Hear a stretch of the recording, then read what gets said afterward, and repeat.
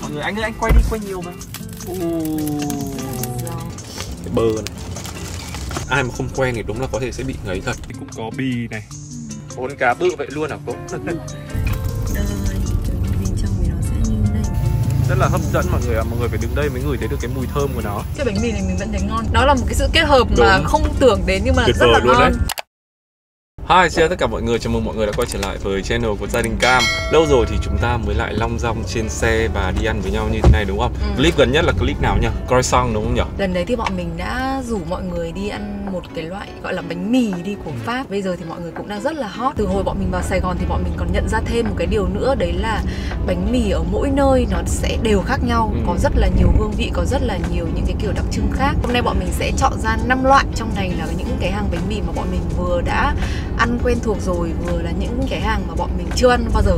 Đấy thì sẽ là cái cảm nhận đầu tiên bọn mình ăn những cái loại bánh mì đó ở tại Sài Gòn. Hàng đầu tiên mà bọn mình muốn dẫn mọi người đi đấy là một uh, tiệm bánh mì. Mình nghĩ nó đã quá là nổi tiếng rồi và bản thân vợ chồng mình cũng gây rất cãi rất là thích hương vị của nó. Đó chính là bánh mì huynh hoa. Ở đây thì cái đặc trưng của cái ổ bánh mì huynh hoa ai cũng nói cái điều đấy. Đó là bánh mì ở đây to quá một người ăn còn không hết được một ổ. Ờ, nhưng mà ngày hôm nay thì bọn mình sẽ không dẫn mọi người đi ăn à, cái bánh mì huynh hoa lâu năm ở lê thị riêng mà bọn mình sẽ dẫn mọi người đi ăn bánh mì bà huynh vì nó nằm ở trên đường nguyễn trãi và có thể đỗ xe và trực tiếp mua luôn được. Ừ. còn bánh mì huynh hoa thì thực sự đông lắm mọi người ạ. Đông xếp hàng rất là lâu mặc dù người ta có tới 3 chi nhánh ở cùng một con phố đấy để để để phân bổ khách ra nhưng rất là đông. Mà nếu mà mọi người vẫn muốn ờ, nhìn cái bánh mì huynh hoa như thế nào thì mình sẽ rẽ qua lê thị riêng để cho mọi người uh, trông nhanh nhìn nhanh cái cửa hàng bánh mì đó. Sau đó thì chúng ta sẽ qua bánh mì bà huynh để mua nhá.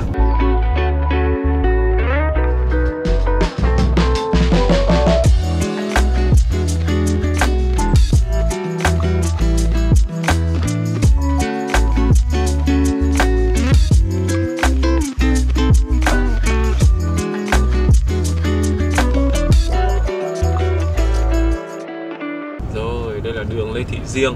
Ở đây thì sẽ có cái cơ sở bánh mì hình hoa chính gốc. Mọi người cứ thấy chỗ nào mà xếp hàng đông nhiều Grab Đấy, ngay bên tay phải ấy, mọi người. Đấy, mọi người thấy không? Rất là đông Grab này Đông mọi người xếp hàng. Ở đây thì đó, đấy chính là bánh mì hình hoa. Rất Khách là đông luôn. nhiều. Khách du lịch đông lắm. À, mình không nhớ là Huynh Hoa thì có bánh bao với cả bánh dày giò không? Nhưng mà bên bà Huynh nhá, có cả bánh bao, bánh dày giò, bánh à, giò. Rất là nhiều loại luôn bên này thì mình thấy rằng là chất lượng tương đương mà vắng hơn rất là nhiều. Đỗ xe thoải mái để có thể mua.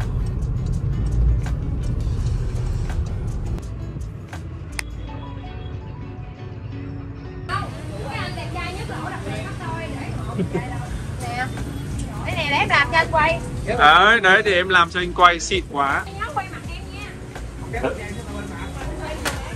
Sao em quay Anh đâu qua lấy giùm beauty đó cảm ơn em.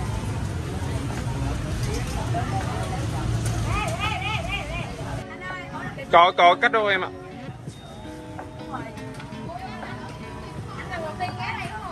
Không? anh ăn thường xuyên à. Mọi người, anh ơi, anh quay đi, quay nhiều mà ở đây mình cũng rất là thích là cái packaging ấy, mọi người. Đấy, mặc dù mọi người mua một ổ thôi, nhưng cũng ờ, cho vào trong hộp rất là chuyên nghiệp như thế này. Một ổ này thì có giá là 70 ngàn thì mình cũng đã bảo các bạn ý cắt đôi ra cho mình rồi. Và bao giờ cũng thế bánh mì huynh hoa hoặc bánh mì bảo huynh thì luôn kèm một gói rau lẻ ở ngoài như thế này. Ở đây thì đúng là về cái vấn đề mà kiểu bao bì với các thứ thì mình thấy sẽ hơn rất là nhiều những cái hàng bánh mì khác. Ta còn cho mình cả giấy ướt nữa làm hình ảnh thương hiệu các thứ thì cực kỳ ok. Ừ. Giòn. bánh giòn lắm. Ở đây họ không cho luôn ờ, cái rau củ quả vào với mọi người tại vì có sẽ có người ăn được có người không ăn được thì ai thích ăn thì sẽ cho thêm vào, nhưng mà mình thì mình thích cho vào nhất là cái dưa góp này của họ này. Tại vì cái đồ chua này của họ sẽ làm cho đỡ ngấy hơn. Sẽ thích về đi rửa xe ui rồi ơi, những ai mà tim sôi thịt như thế này thì sẽ rất là thích ăn. Bạn nào mà thích ăn kiểu sôi thịt giống như mình, mà không kiểu cho rau giết các thứ vào, ăn kiểu nó ngậy, nó ngấy, nó béo ấy, thì siêu mê. Cho mọi người coi, cái bơ này. Ở đây thì sẽ có hành sống rau mùi đồ chua thì sẽ có cà rốt và củ cải. Ớt ở đây thì không phải là tương ớt nha mọi người mà là lát ớt tươi. Cái mùi củ cải khi mà muối chua lên ấy mọi người nó sẽ hơi thum thủm nhé xin mời mọi người nha. Mì siêu to. to luôn ấy. Ừm. ngon. Nói chung là bánh mì này thì một cái là mình không ăn thường xuyên hàng ngày được bởi vì nó sẽ khá là ngấy nhỉ lâu lâu ăn sẽ thấy ngon. Ừ. Ừ. Ăn cái pate về bơ ở đây rất là ngon, mình thích lắm. Thực ra là mình cũng không biết chính xác tên của từng cái là gì nhá. Nhưng mà mình cảm giác đây là giò bì này Có răm bông, ừ. có xá xíu, có chả lụa mẹo. Đây, có chả lụa, một miếng chả lụa rất to đây. Ừ. Đây, đây là thịt xá xíu đây này. Thường ấy, mình thấy rằng là mọi người ăn cái này mọi người bị ngấy là do vì là những cái chả răm bông này ở trong nó bị nhiều quá. Hoặc là cái bơ, bơ là, là kiểu đánh dầu trứng ấy mọi người Chứ không phải là kiểu bơ tường an hay là như kiểu những cái loại bơ pháp đâu Đấy, cho nên là mọi người ăn ai mà không quen thì đúng là có thể sẽ bị ngấy thật cái này làm do mình gọi um, gọi là đầy đủ luôn đúng không chồng Đúng rồi. chứ còn thực ra mình thích ăn cái gì thì mình có thể gọi cho vào Ừ. đầy đủ thì lúc nào nó cũng sẽ ngồn ngộn hơn một tí Ừ. có cả ruốc nữa mọi người ạ Nhưng mà mẹ phải công nhận là cái hương vị pate với cả bơ rất là ngon không? Ừ. Nhờ. Thật ra như cá nhân mình là khi mà mình ăn hết cả một ổ 70 nghìn này Thì khi mà ăn xong nó sẽ kiểu bị hơi đầy, Ừ. hơi bứ Nhưng mà mình ăn hết được Còn với mẹ heo thì chắc chắn là chỉ có thể ăn được một nửa ổ thôi. Bình thường bánh mì thì sẽ chỉ trong dao động tầm khoảng độ tầm dưới 35 nghìn dưới 40 35 nghìn đổ lại ừ, là, thôi. là cao rồi đấy. Ừ. ừ. ý là cao nhất thì cũng chỉ tầm đấy đổ lại Ừ. thôi. Nhưng tại vì ở đây thì bọn mình gọi full topping như này thì có cả chả chứ các thứ trong này nên thực ra là cái giá này thì cũng có thể hiểu được. Pate trong này mình cảm giác nó béo Nó nhuyễn. Đấy, nó nhuyễn, nó nó dạng à, sệt sệt ấy mọi người. Pate này là pate dạng sệt sệt và có mùi tiêu, cũng có mùi gan Anh thích cái dạng pate kiểu sệt này hơn Ừ. Là những cái pate miếng rắn, cứng Sau đấy thì cắt vào trong à, bánh mì nếu mà mọi người ăn cái bánh mì này mà mọi người không không hay ăn được các cái đồ ngấy ngấy ấy, thì mọi người bảo người ta phết cái dầu trứng Ít đi ít đi một tí thì mình nghĩ là nó sẽ đỡ ngấy hơn Nói chung ấy thì đây sẽ là một cái lựa chọn của mình Mà khi mà mình nghĩ đến việc là mình à thèm bánh mì pate quá Thì mình sẽ mua bánh mì báo huynh hoặc là bánh mì huynh hòa để ăn Ừ. Cái chất lượng và cái hương vị của hai cửa hàng ấy thì mình thấy là tương đương nhau, giống Ừ. nhau ừ, Không khác gì đâu tuần chắc mình ăn kiểu một hai lần thôi ấy, chắc là Ừ. một lần thôi Ừ. tại vì là thường ăn một lần xong tức là lúc chưa ăn thì sẽ rất là thèm nhưng mà thường ăn xong thì mình sẽ hơi hơi hơi ngấy một Rùng chút mình xíu đúng không? ừ. đó là sẽ không thể là làm một cái món bánh mì ăn sáng thường xuyên được bọn mình chọn cái bánh mì này đầu tiên để ăn nó không bị ngán ngấy chỉ cái này mà ăn cuối cùng thì thôi chịu luôn bánh mì huynh hoa này mình không biết là có gọi được gọi là bánh mì quốc dân ở Sài Gòn không? Ngày xưa ấy khi mà mình đi máy bay từ Sài Gòn về Hà Nội hoặc là từ ừ, đấy những cái chuyến máy bay từ Sài Gòn về Hà Nội thì mình thấy là mọi người xách theo cái bánh mì này rất là nhiều để, Đúng. để làm quà. Kiểu trên khoang máy bay kiểu nhiều cái mùi bánh mì này thậm chí là ai mà mang kiểu dưa góp dưa ghiếc Ừ, lên là mùi nó hơi thum mùi. thủm ấy. Ừ. Đại loại là mọi người sẽ mua về làm quà này hoặc là mọi người mua về để kiểu nhận order ấy các thứ ừ. và mình biết là cái bánh mì này nó hot là như thế nhưng mà thường thì bọn mình cũng không quá là hay chạy theo những cái gì mà hot hot đâu nên là bọn mình cũng không quan tâm lắm. Nhưng mà đến lúc mà bọn mình vào Sài Gòn nếu mà bọn mình đi tìm hàng bánh mì ăn thì bọn mình cũng ờ, thử ăn xem xem là nó như thế nào thì cũng khá là ấn tượng đấy chứ nhỉ? Ngon mà. Ừ, mình Ừ. thấy là nó cũng khá là ngon. Tất nhiên là khi nó càng nổi tiếng thì nó sẽ có những cái kiểu yêu cầu những cái mong đợi của người ăn nhiều hơn. Thì nhưng mà mình thấy thì khá là ok và mình cũng xem một vài những cái bạn youtuber ở nước ngoài đến Việt Nam ăn thì các bạn ấy khen bánh mì này rất là ngon. Ừ. nhưng mà mình nhá mình thì mình nghĩ là những bạn nào mà không có thích ăn cái vị quá là béo ngậy hoặc là ngột ngột sôi thịt chắc chắn đây cũng chưa phải là một sự lựa chọn hoàn hảo. Ừ, đúng rồi. Cái này thì với những người mà thích ăn kiểu nhiều nhân như mình thì mình sẽ rất là thích cái loại này. Giờ thì chúng ta đang tiện ở gần cái khu vực này thì mình sẽ dẫn các bạn đi ăn một cái bánh mì khác nữa. Mà mình cũng đã từng ăn rồi nhưng mẹ heo lại chưa ăn. Đấy là bánh mì chay. Một cái Ừ. bánh mì trái ngược hoàn toàn với cái bánh mì mà mẹ đang ăn. Chúng ta vừa ăn xong một cái bánh mì kiểu ngồn ngộn thịt ba tê đi các thứ rất là sôi thịt. Nhưng mà bây giờ thì mình sẽ dẫn các bạn đi ăn bánh mì chay ở bên ờ, quận 4 ha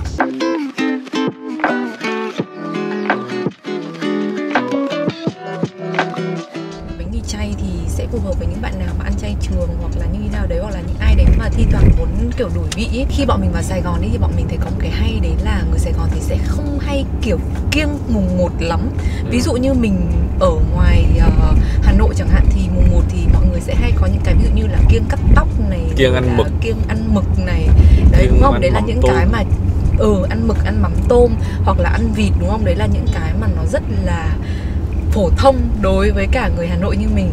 Thế nhưng mà khi mà mình vào Sài Gòn thì đối với những người mà mình quen ấy thì các bạn ấy không có cái thói quen đấy. Tức là sẽ chỉ là mùng 1, mùng 1, mùng 2, mùng 3 hoặc là ngày rằm thì sẽ có cái khái niệm là ăn chay. Còn à, lại thì những cái kiêng mực kiêng mắm tôm thì mình thấy là cũng không phổ biến lắm. Ở trong này thì mọi người sẽ rất là phổ biến cái việc ăn chay vào những ngày đầu tháng. Và đặc biệt là mọi người đi vào đây mà đúng vào dịp một à, một mùng hai mùng ba nhá thậm chí đến mùng ba thì có nhiều hàng ốc hay là gì đấy mà mọi người muốn đi ăn thì cũng sẽ không ăn được. Tại vì đầu tháng thì người ta cũng không sát sinh ấy Ừ. cho nên người ta cũng sẽ không bán những cái món bánh đấy. Đấy là ví dụ như một số hàng bọn mình ăn thôi. Còn lại thì tất nhiên là những cái hàng về kiểu thịt, thịt lợn hay đấy các gì đấy thì mọi người vẫn bán bình thường. Đây là đường Nguyễn Hữu Hào ở quận 4 Thì ở đây có một cái tiệm cơm chay à, Tiệm bánh mì chay và cái phố này bán rất là nhiều đồ chay để cho mọi người mang đi nhé. Kể cả cơm, bún, từ từ bánh mì Bánh mì, bánh mì, bánh mì.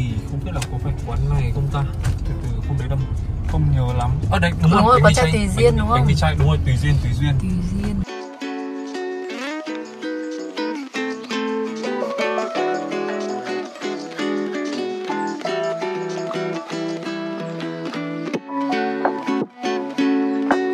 Đây là bánh mì Tùy Duyên. Ở đây thì có hai cơ sở là ờ, 22 Nguyễn Hữu Hào, phường 6, quận 4 Và chi nhánh 2 là 86 Văn Thân, phường 8, quận 6 Đây, và cũng có trên các app luôn thì mọi người có thể gọi về ha. Đây, em sẽ nhìn thấy là ở bên trong này Thì à, lúc nãy anh cũng quay cho mọi người ấy Là cũng có phết pate Đấy, Ừ. bơ, xong rồi à, đây cũng có bì này Bì này, xong rồi có dưa món, xong rồi có các loại rau. Ngon đấy chứ. Trông ngon mà. Không, ở, ở đây ăn ổn. Lần trước thì anh ăn một lần rồi Thì anh thấy khá là ok. Cho anh ăn nửa dưới Tại vì nửa dưới nó có ớt. Nhưng lúc nãy mình quay cho mọi người ấy Là có thấy cô phết cả pate với cả bơ vào đúng không? Cái pate đấy thì mình nghĩ rằng là nó được làm từ nấm. Cái đấy là bì ấy Người ta giả À. sợi sợi bì ấy. Mày ăn thì thấy như thế nào? Chúng ta vừa mới ăn một cái bánh mì thịt siêu to khổng lồ xong rồi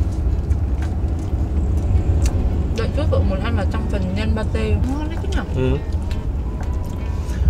Ngon không? thơm, hương vị rất là thơm Ừ. thơm kiểu có mùi tiêu nấm quan trọng nhất để làm nên cái bánh này mọi người là cái sợi này đấy cái sợi này thì người ta làm mô phỏng cái sợi bì thì À. cái sợi này được làm từ sợi hủ tiếu sau đó thì áo ở bên ngoài lớp gạo thính. Xong rồi để trộn với cả cái sợi hủ tiếu đã được trần ừ. thì nó sẽ mô phỏng như cái bì heo ấy. Cái này nó là cái quyết định làm cho cái kết cấu bánh mì này ăn nó sần sật dai dai và nó thơm. Và cảm giác như là chúng ta có bì ở trong này. Cái hương vị thì mình thấy khá là ok nha. Nó không kiểu bị nhạt nhòa đâu mà nó khá là đậm vị. Ừ, đó và ăn thì cảm giác cũng thanh thanh nữa. Thanh rất là thanh. dễ ăn. Nhẹ nhàng. Ừ. Cái bánh mì này thì có giá là 20.000 một chiếc mọi người ạ Rất là rẻ thôi Ngon không mẹ? mẹ Ừ.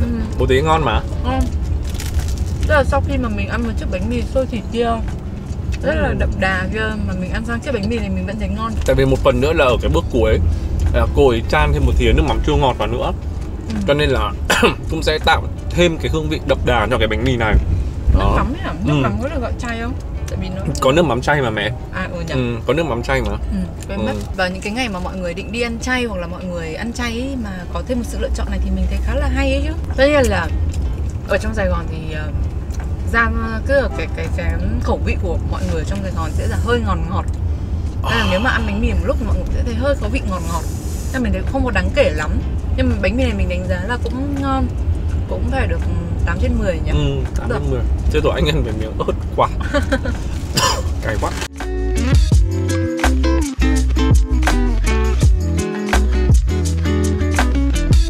Sau khi mà ăn hai loại bánh mì đầu tiên thì bọn mình nghĩ rằng là bọn mình sẽ phải nạp à, một cái nước gì đấy mặc dù bọn mình đã mang à, nước suối đi nhưng mà à, trời nóng như thế này thì phải mua uống trà và cà phê thì nó mới tỉnh táo được. ừ, Với cả là để cho nó kiểu giải nhiệt ấy Thì bây giờ bọn mình sẽ qua Nguyễn Thượng Hiền để đi ở qua trà trà hoa quả bà chế. Nguyễn Thượng Hiền, con phố 1.800 thứ ăn vặt ở Sài Gòn. Đây, trà dâu bà chế. Ở đây thì có rất là nhiều loại trà cho mọi người có thể tham khảo. Có cả sữa chua xoài này, nước long nhãn thái này, các loại trà thái này. Đấy. Trà ở đây thì thực ra mình thấy khá là ngon và đậm vị nhưng mà khá, rất là ngọt nhé. Cho nên họ cho nhiều đá cực kỳ luôn và cái ly nó cũng to nữa. mình định uống cái trà mãng cầu mọi người. Thế nhưng mà mình lại thấy người ta có cái trà loài dưa lưới. Ừ. chưa uống bao giờ cả cho nên là mình sẽ cho mình một cơ hội để thử. Đây à, là trà mãng cầu đây mọi người rất là thơm ngon. Mọi người nhìn này, đầy một ly đá luôn. Đó. Cái này thì mọi người phải uống từ từ Để cho nó chờ nó tan đá ra thì nó mới đỡ ngọt. Chứ mà rít một hơi thì ơi, nó ngọt lắm. Một số cái hàng bánh mì ở trong này bọn mình tìm được á mà mình muốn ăn ngày hôm nay thì họ đều mở giờ sau buổi chiều à, sau giờ trưa tức là tầm khoảng độ một rưỡi chiều trở đi thì họ mới bắt đầu mở có hàng 2 giờ có hàng 3 giờ mới mở. Thì đấy cũng là một cái mà mình thấy rất là lạ so với cả các hàng bánh mì ở Hà Nội. Thường thì tất nhiên là bây giờ thì mọi người sẽ hay bán ờ, cả ngày rồi.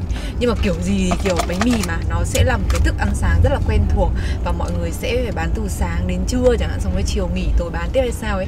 Nhưng trong này thì mình thấy là có nhiều hàng bánh mì mà phải sau giờ ăn trưa nhá họ mới bán. Ừ, họ bán là tầm Ừ. ăn xế với cả chiều tối ấy, mọi người. Ừ. Ở trong này thì mình thấy là các loại trà hoa quả, trà trái cây nhiệt đới là cực kỳ phổ biến Ừ. và đi ở ngoài đường thì thấy xe máy của ai cũng treo một cái bịch ờ, bịch, Bịch bịch nước. bịch nước to như thế này này và từ hồi mình vào đây thì mình kiểu bây giờ mình quen cái cốc nước to như này tức là đi mua nước sinh tố hay gì đấy thì đều có cái size to đùng như này luôn rồi rất là bất ngờ luôn ấy. Rồi bây giờ thì chúng mình sẽ cùng nhau đi tiếp tục ăn à, một loại bánh mì nữa. À, Rất là lạ mọi người mà mình mình chưa ăn bao giờ luôn. Đấy chính là bánh mì cá nục. Cá nục ấy, bình thường thì mọi người hay biết nó là một loại cá biển và sử dụng à, để kho, để ăn với cơm. Nhưng mà mình thì lại chưa bao giờ ăn cá nục với cả bánh mì cả. Ở trong này thì lần đầu tiên mình ăn bánh mì mà gọi là bánh mì hải sản đi. Ừ. thì là mình ăn cái bánh mì chả cá ngay dưới chung cư mình cũng có thôi. Với cả trên đường mình bọn mình đưa cam đi học ấy thì mình thấy có rất là nhiều những cái sạp họ bán bánh mì uh, chả cá ở ngoài đường thế nhưng mình chưa ăn bao giờ cả. Và lúc đầu thì mình cũng hình dung ra là nó sẽ hơi kiểu tanh tanh tanh tanh khó ăn hay như nào đấy là mình cũng không dám ăn. Nhưng mà đến lúc mà bọn mình ăn thử cái bánh mì chả cá ấy, thì bọn mình thấy nó rất là ngon với cả là nó là một cái sự kết hợp mà Đúng. không tưởng đến nhưng mà tuyệt rất là luôn đấy. Ngon cái chả cá có thể là cá miếng tròn hoặc là những cái sợi chả cá chả cá sợi. Người ta làm thành dạng sợi Ừ. và dán giòn lên. Sau đó thì uh, cho vào trong kẹp vào trong bánh mì cùng nước mắm chua ngọt đến nước sốt. Ừ, và đặc biệt là đúng. phải có rau răm. Ừ, đấy. phải có rau răm ăn cùng rồi ôi ngon lắm mọi người nói chung ạ. là nó là một cái Ừ. sự kết hợp mà ừ, mình cũng chỉ nghĩ Ừ. là ở bánh mì chả cá chắc là sẽ cho miếng chả và giống như ở ngoài Hà Nội mình có bánh mì chả lụa ấy cái Ừ, thứ thì ừ. cho miếng chả Ừ. ăn thì mình hình dung ra nó sẽ có cái vị tanh của chả cá và chỉ thế thôi Ừ. hoặc là cùng lắm thì thêm một ít ờ, kiểu tương ớt tiếc gì đấy nhưng mà hay ở một cái đấy là cái chả như bố kiên vừa nói là họ không thường không hay để miếng mà họ sẽ kiểu thái thái sợi ra làm thái sợi sợi ra xong đấy là nó hơi kiểu dai dai sần sật đấy và nó rất là thơm. Quay thêm một chút cảnh đường phố Sài Gòn để cho mọi người xem. Mặc dù ờ, đang là giờ trưa của ngày thứ tư thôi, ngày thứ ba chứ, ngày thứ tư. Nhưng mà đường rất là đông mọi người ạ. Đây là mình đang quay camera góc rộng ấy, cho nên là các bạn xem, các bạn sẽ cảm giác là ở nó vẫn còn thoáng. Nhưng mà ở bên ngoài thì đường rất là đông. Nhưng mà được một cái là đường ở trong thành phố Hồ Chí Minh thì hầu như những cái đường ở trong trung tâm là đường một chiều, cho nên là nó sẽ không bị tắc dồn ứ thành một cục, mà nó chỉ hơi ùn lại và nó vẫn cứ trôi trôi trôi trôi được mọi người ạ. Đi thì chúng ta vẫn sẽ đi được thôi, nhưng mà chẳng qua là sẽ bị đi rất là chậm.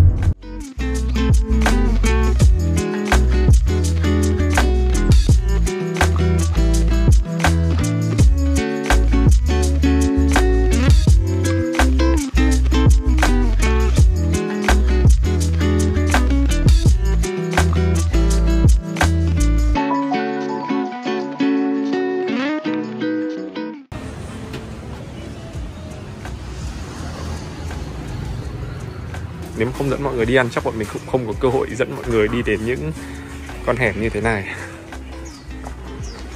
Mình đang đi theo map để vào trong quán. Này. Rồi mọi người ơi. Kia rồi đây rồi.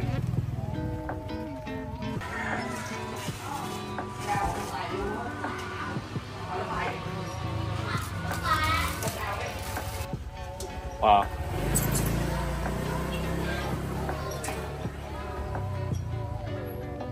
Bốn cá bự vậy luôn hả cô? Xong chắc con nhờ cô cắt đôi dùm con nhé. Dạ con cảm ơn cô ạ.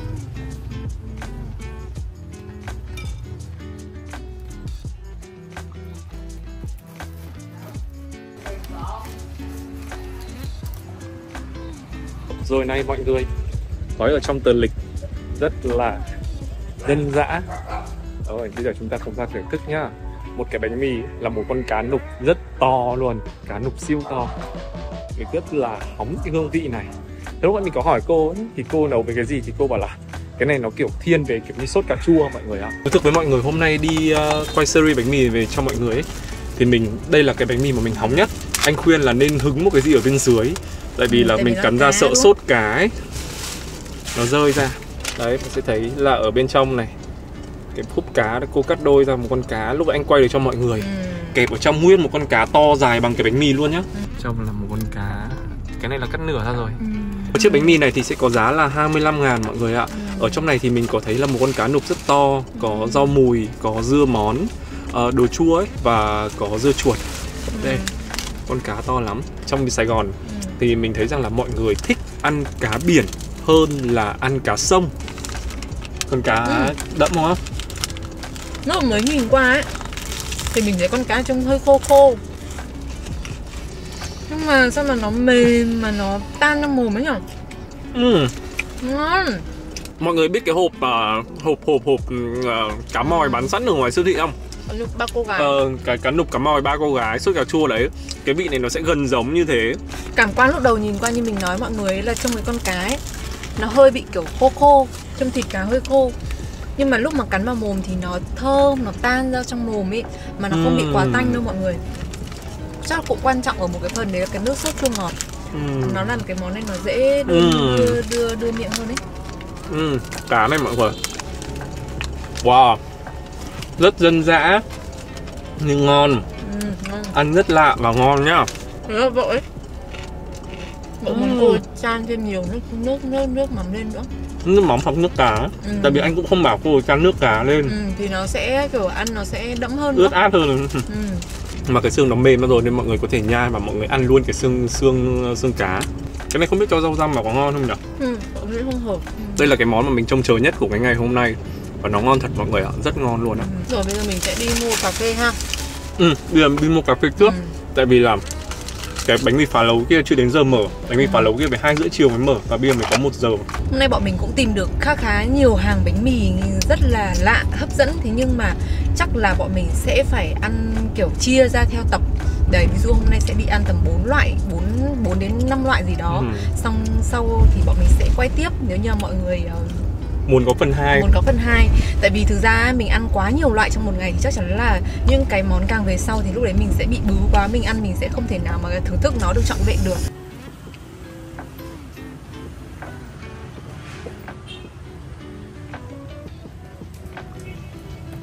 Cà phê vợt ở ngay đằng sau đây nhá mọi người nhá.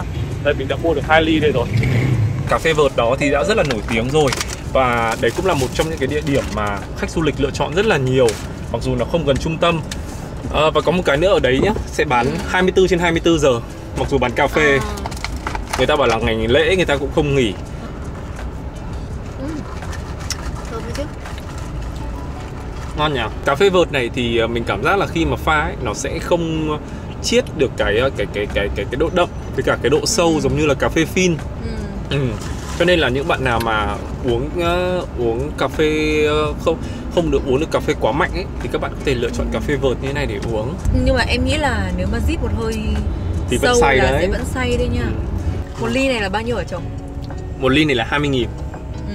ừ, một ly này mẹ cẩn thận dốc quá kìa một ly này là 20 nghìn nhưng mà phải công nhận một điều nhá là bánh mì và cà phê sữa đá Ừ. của Việt Nam nó là một combo ăn đỉnh. sáng mà mình thấy nó phải đỉnh ngang ngửa như kiểu ăn phở với cả uống ờ, gì Trà chanh, à trà, À, trà đá trà đá Ừ. ăn phở uống trà đá hoặc là như là ăn bánh bao uống sữa đậu nành ừ. nó có những cái combo ấy mọi người là đi với nhau mà để ăn sáng thì nó có là tuyệt vời Những lần trước khi mà bọn mình có cơ hội bọn mình đi du lịch ở nước ngoài ấy, thì bọn mình thấy rằng là không ngoa đâu khi mà nói rằng là đồ ăn châu Á nói chung và đồ ăn Việt Nam của mình rất là đỉnh luôn đấy mọi Ừ. người. Nó vừa đa dạng phong phú mình chưa nói đến yếu tố là ở các vùng miền mỗi nơi thì nó đã đa dạng rồi nhá. Ừ. nhưng mà các món ăn của mình rất là đa dạng nhất là cái món ăn sáng. Cái ẩm thực của Việt Nam mình rất là hay với cả cái và ngon.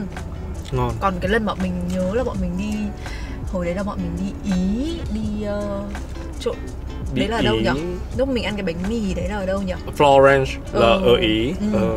thì bọn mình ăn uh, bánh mì ở bên đấy. Nói chung bánh mì bên đấy nó lại là một kiểu khác thịt nguội rồi là phô mai. phô mai ấy các thứ. Nhưng mà để mà ăn ngon miệng và ăn thường xuyên được thì đúng là không thể ăn được. Nó Đúng rất là rồi. khô và nó rất là cứng luôn. Cùng là bánh mì thôi ấy, Ừ. nhưng mà mình thấy bánh mì Việt Nam mình phải nói là tuyệt Rất là vời đấy.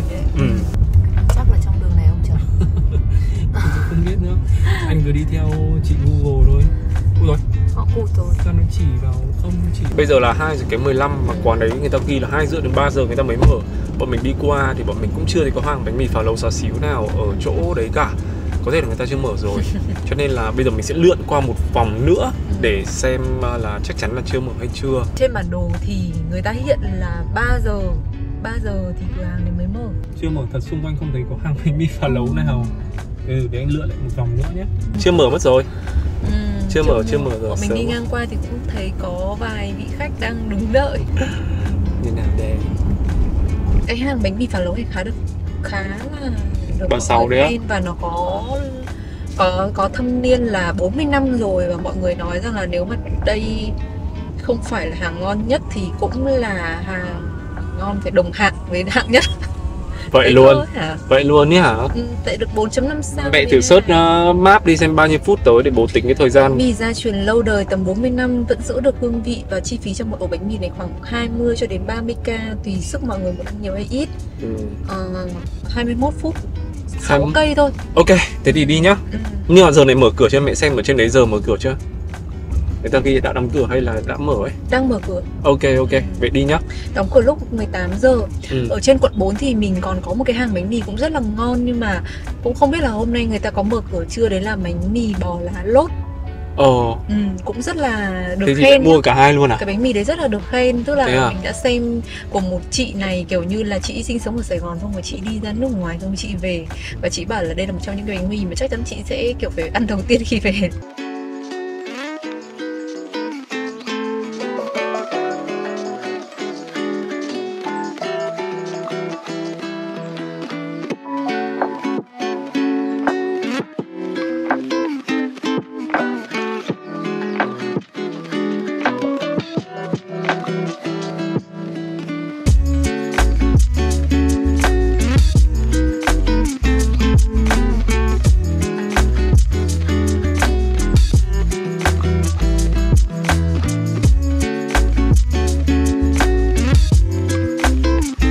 cảm giác đây một cái đường mà không thể đi đi xe hơi vào đây. Đường Văn Bơ nó là cái đường vắt ngang này nè. Đúng không? ok hay là mình Bây giờ nhá, từ từ đang không thấy cấm ô tô. Thì mình cứ đi vào. Anh có chắc chắn anh muốn đi vào đường này không? Sẽ siêu tắc luôn á. Đường rất là nhỏ. Thôi nhá. Ok đừng vào. Em nghĩ là lên kia mà bây giờ lùi ra cũng khó nha. Thôi đi đi đi tôi đã đâm đầu rồi đi rồi đi đi thôi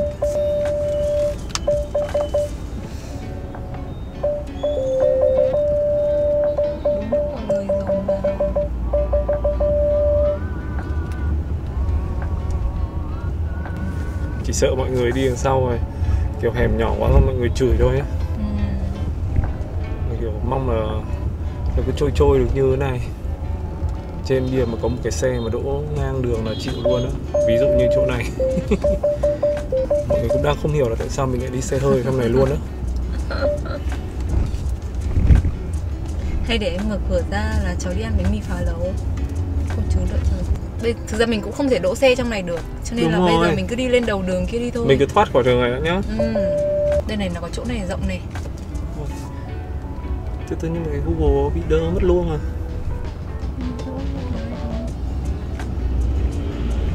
Đây bánh mì phá lấu bà sáu đây. Đâu? Đây đây đây anh thấy rồi. Đây anh thấy rồi. Từ từ. Em không Từ từ. thấy luôn ý. Từ từ từ từ anh mua nhanh anh mua nhanh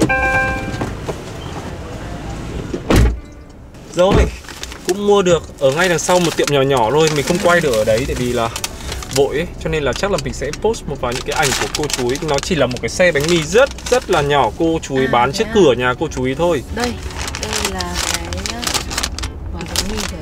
Ừ.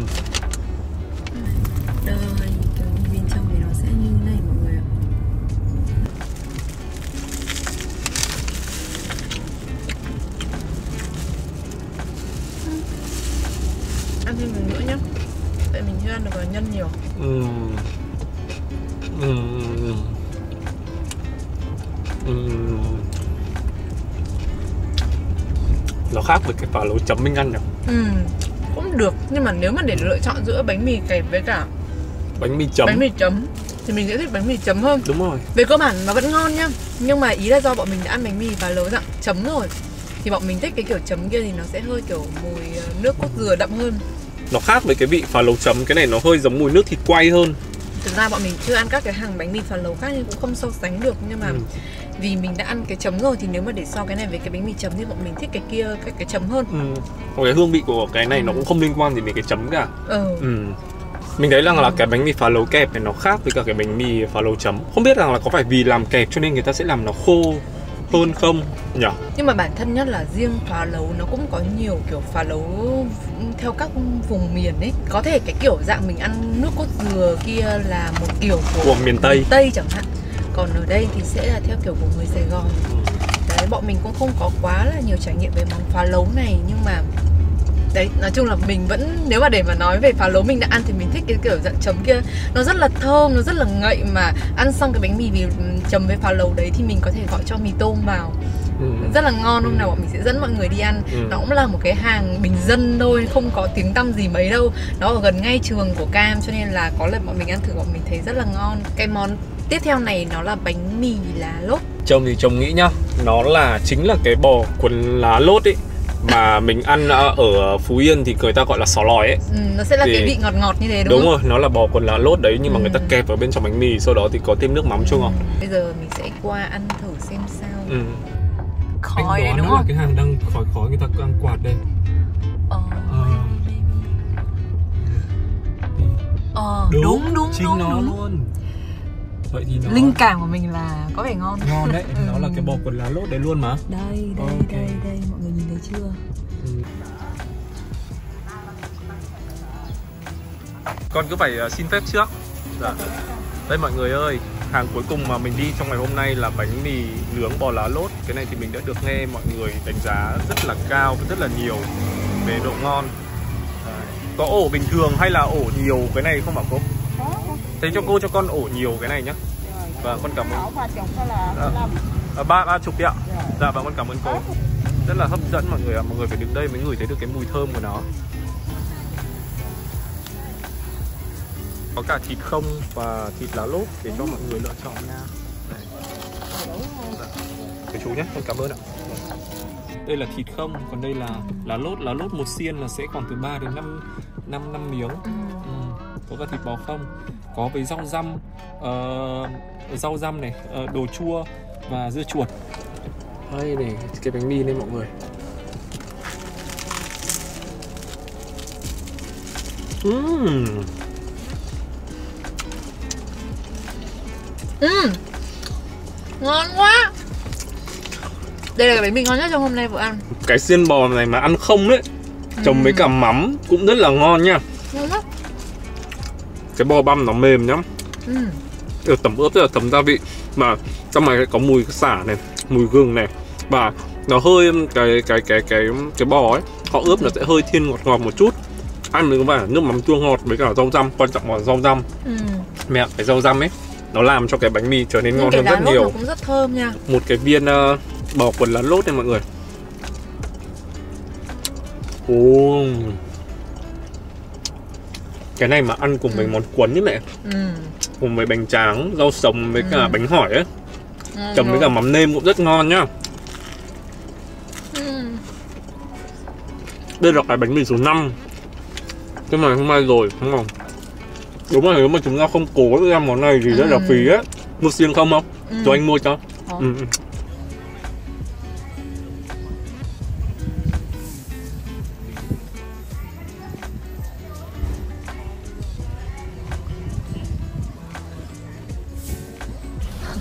Cô sẽ mở từ một rưỡi là cô đã đứng đây rồi bán đến khoảng 5 6 giờ đến khi hết Ừ.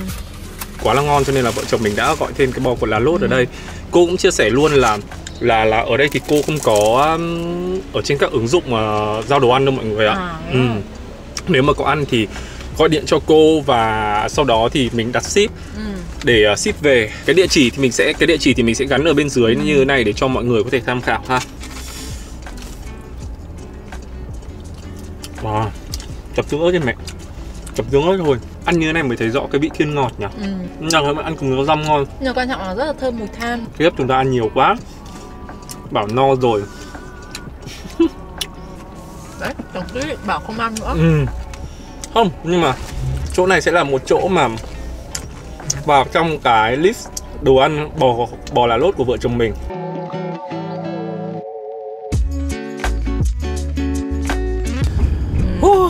quá là no luôn mọi rất người ạ. no. rất no mình đi ăn từ lúc mấy giờ nhỉ? Mình đi ăn từ lúc uh, 10 rưỡi sáng. Ừ, Ừ. bây giờ đã là 3 giờ chiều rồi bây giờ thì bọn mình phải đi về để đón cam đi học về rồi. Thì uh, vlog này chắc sẽ kết thúc ở đây thôi hôm nay bọn mình đã thử là khoảng 5 loại bánh mì. Ừ. Năm loại bánh mì cho mọi người rồi. Tất nhiên là các cái thể loại bánh mì ở Sài Gòn bọn mình nghĩ là chưa thể nào ăn hết được trong một ngày được đâu. Ừ. nên là bọn mình sẽ hẹn mọi người có thể là ở những tập sau hoặc là nếu như mọi người mà có những cái loại bánh mì ờ, hoặc là những cái địa chỉ ăn nào mà mọi người thấy ngon với mọi người thì mọi người cứ comment ở bên dưới để bọn mình có thể tham khảo. Ừ. Mình nữa không cháu? Nói chung là bọn mình hôm nay rất là vui vì kiểu đi ăn được uh, đồ ăn ngon này cũng có thể chia sẻ được cho mọi người những cái uh, địa chỉ nó chất lượng. Đấy bọn mình cũng rất là vui ăn ngon thì cũng rất là vui. Và mình nghĩ rằng là nếu mọi người thích có tập 2 thì mọi người comment ở bên dưới nhá. Ờ, rồi chắc là nếu mọi người thích thì hãy like này subscribe Ừ. click vào cái chuông và tiếp tục ủng hộ cho gia đình cam cam và bọn mình sẽ quay lại với nhiều video hay ho hơn nữa ăn uống nhiều hơn nữa. Và cũng phải đi tập nhiều hơn để không béo chết mất. Ok tạm biệt mọi người. Ok bye bye, bye bye